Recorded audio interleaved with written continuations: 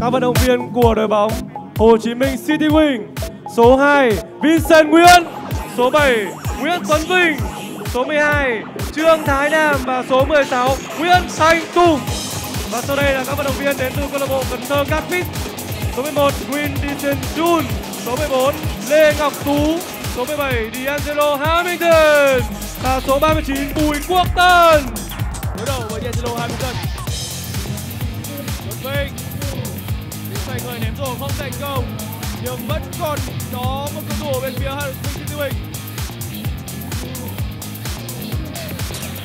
D'Angelo Hamilton. Cân bằng tỷ số một đều. Ném rổ không thành công của thành công. Hamilton quá khỏe một cái rổ.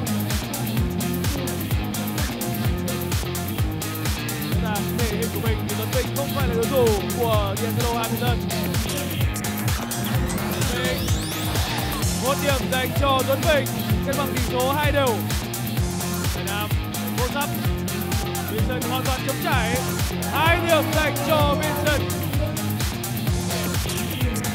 Vincent đột phá một chuyện rất hay thêm một điểm nữa dành cho Cao thủ City Wing.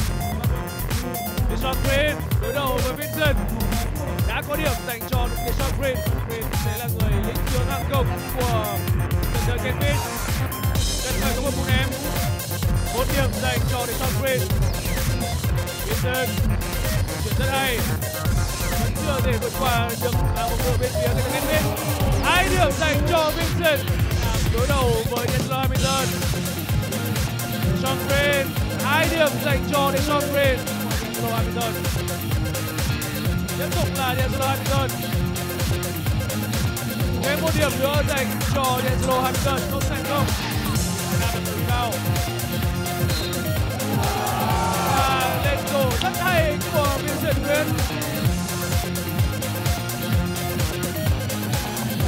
Và thành công của Vincent Nguyễn. Vincent. Tuấn Vinh giành người rất hay. Một điểm dành cho Tuấn Vinh thứ 10. John Green đang tận dụng thể hình của mình.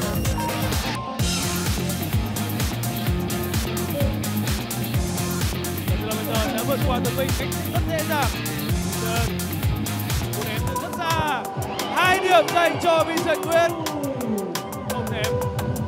Để Sean Green đối đầu với Tuấn Vinh. Mặc dù người ta Davis đang cố gắng đưa bóng vào vị trí của D'Angelo Hamilton và anh đã thành công. Số 12 đều. Và anh đã thành công. Rất dẻo. Điền Thái Nam đã hỗ trợ tốt.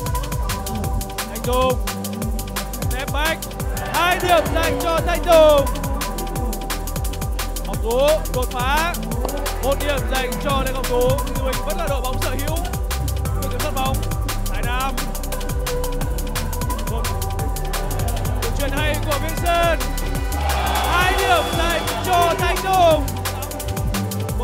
Rất quan trọng của Thanh Tùng để Ngọc Tú đáp trả một tình huống hai điểm. Để Ngọc Tú ngọc anh thành công. Một điểm dành cho Lê Ngọc Tú. Trọng lắm còn một giây. Thanh Tùng hai điểm dành cho Thanh Tùng cầu thủ trẻ bên phía Hồ Chí Minh đang có những cú ném rất cực kỳ quan trọng gian thi đấu còn 3,5 giây và Kenfish cần phải có một cú ném hay.